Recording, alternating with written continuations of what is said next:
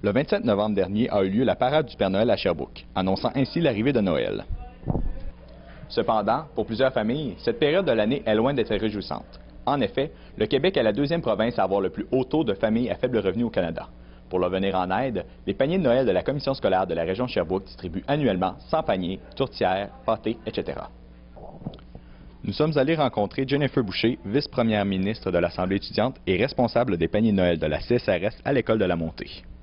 Qu'est-ce qui a été mis en place au niveau de l'école pour ramasser des denrées et de l'argent? Ben, on a organisé une journée civile au coût de 2 pour ramasser de l'argent pour les pa- paniers de Noël. Et on a une collecte de denrées qui se fait depuis le 30 novembre jusqu'au 8 décembre. En quoi consistent les paniers de Noël de la CSRS? Ben, ça consiste à ramasser des denrées non périssables et de l'argent pour euh, les familles qui en ont besoin. Et c'est les familles de la commission scolaire qui vont en bénéficier. Puis, euh, quelqu'un, une famille là, qui fait partie justement de la commission scolaire, comment il doit faire sa demande? Ils doivent euh, contacter notre AFSEC et faire une demande, puis euh, la demande va être évaluée à la suite. Bien que tout soit mis en place par la commission scolaire pour aider ces familles dans le besoin, il demeure votre responsabilité de garnir les paniers de Noël.